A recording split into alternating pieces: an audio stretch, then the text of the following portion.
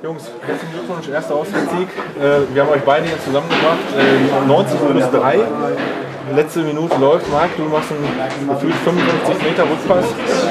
Markus muss raus. Äh, jetzt was hast du dir dabei gedacht?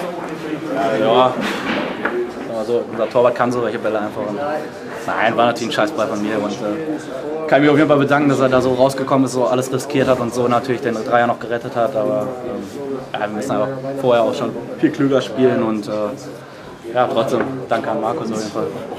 Markus, wie hast du die Szene erlebt? Erst mit dem Kopf geklärt, dann glaube ich mit einer Grätsche, so zwei Meter vom Mittelkreis. Ich weiß ja, dass Claude immer, welche, immer ein paar Ideen hat. Ne? Auch manchmal zurück und sogar die Rückbälle flattern bei ihm. Und das ist sehr gut gegangen. Ne? Wie groß ist die Erleichterung jetzt, dass jetzt am letzten Spieltag der Hinrunde mit dem ersten Auswärtssieg geklappt hat? Ja, brutale Erleichterung auf jeden Fall.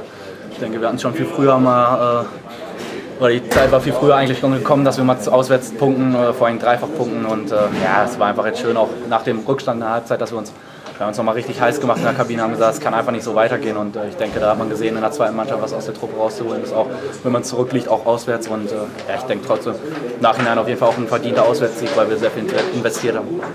Gut, dann danke euch.